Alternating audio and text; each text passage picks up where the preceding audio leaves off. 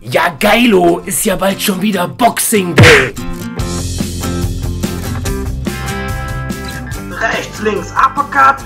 Ja, Leute, mich hat's erwischt. Nicht nur vom glücklichen Händchen, sondern auch hier erkältet. Heiserkeit wurde jetzt hier auch zu Rotznase und so weiter. Ich bin hier zwar bestens versorgt, vielleicht krieg ich's vor Weihnachten weg.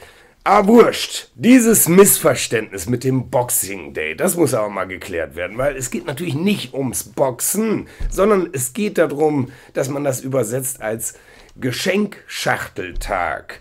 Und zwar kriegt man dann sowas hier. Also das ist traditionell so, dass die Arbeitgeber ihren Bediensteten am 26. beziehungsweise eigentlich einen Tag nach Weihnachten äh, so eine Geschenkbox überreicht haben und dann haben sich alle gefreut. Ja, und heutzutage macht die Premier League das. Am 26.12. gibt es von der Premier League den Boxing Day. Hätten wir doch auch gerne in der Bundesliga.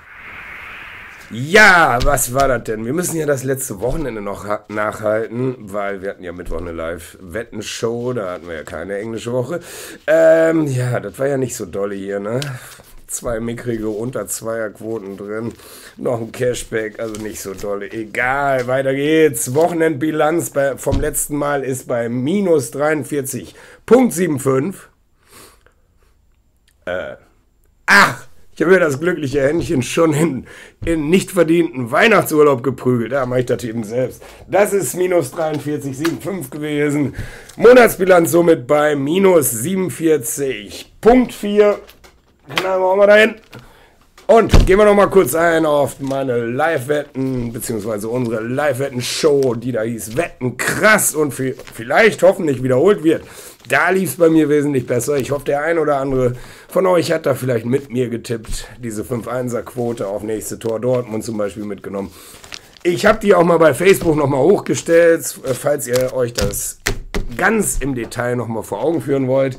Wenn ihr da schon mal seid, natürlich ein Like da lassen. Und wenn wir das wiederholen sollen, natürlich ganz viele Likes hier unter dieses Video auch, weil alle Likes schreien doch nach Wiederholung. Ach, guck an. Da oben hängen ja auch noch vier Tipps. Woher die wohl kommen? Natürlich alle aus England, wenn wir schon mal beim Thema sind. Und da ihr die ja relativ schlecht dort erkennen könnt, sind sie direkt auch hier parat. Das heißt, wir fangen mal an. Wir beginnen mit der Partie. Heute 16 Uhr Premier League. West Ham spielt gegen Newcastle. Dann nehmen wir die 1 für 2.15. Es spielt der 15. gegen den 18. David Moyes, der ist Trainer seit dem seit Anfang November und seitdem geht's stetig bei denen aufwärts. Sieben Punkte aus den letzten fünf Spielen, zuletzt Sieg in Stoke, davor ein Derby-Remis gegen Arsenal, auch nicht schlecht. Und davor 1-0 gegen Chelsea. Wow. Newcastle ist 18. und ebenfalls 18. in der Auswärtsformtabelle. Nur ein Punkt bei West Brom. Letzte fünf Spiele, also sonst nichts gerissen. Quote 2.15 ist doch super. Dann als nächstes unsere Lieblinge Burnley spielt gegen die Spurs. Dann immer das 1x für 2.60. Und spielt der Sechste gegen den Siebten. Ja, ja, Burnley ist vor den Spurs. Gutes Heimteam, haben wir oft gesagt lediglich Niederlagen, also zwei Niederlagen haben sie erlitten und das war gegen Arsenal ein 0 zu 1 und gegen West Brom, bisschen überraschend, auch ein 0-1. Zweitschlechtestes Team vorm Auswärtsteam sind allerdings zurzeit die Spurs, ein Remis nur in Watford.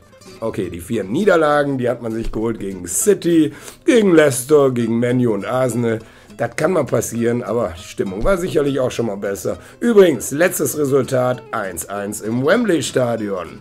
Macht doch Mut, oder? Und jetzt kommen wir zum Boxing Day. Da ist unsere erste Partie bei Huddersfield und die spielen gegen Stoke City. Da nehmen wir die 1 für 2.65. Da spielt der 11. gegen den 17. Huddersfield solide Heimbilanz, 4-2-3 ist die, zuletzt 4-1 auch ein Auswärtssieg bei Watford. Ja, und Stoke City, da ist der Trainer Mark Hughes richtig unter Druck. Und die sind völlig außer Form. Obendrein das schlechteste Auswärtsteam. Nur ein Sieg, zwei Remis, sechs Niederlagen. Da glauben wir an Huddersfield, die packen das am Boxing Day. Und einen Boxing Day haben wir noch. Das ist ebenfalls um 16 Uhr. Watford gegen Leicester City. Dann immer die 2 für 3.0. Das ist der 10. gegen den 8. Watford schlechtestes Formteam allgemein. Viele Verletzte.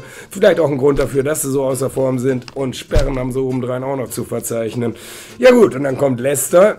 Ist das fünftbeste Formteam allgemein und das drittbeste Auswärtsteam in der Formtabelle. Spricht doch alles für Leicester. Hammerquote dafür.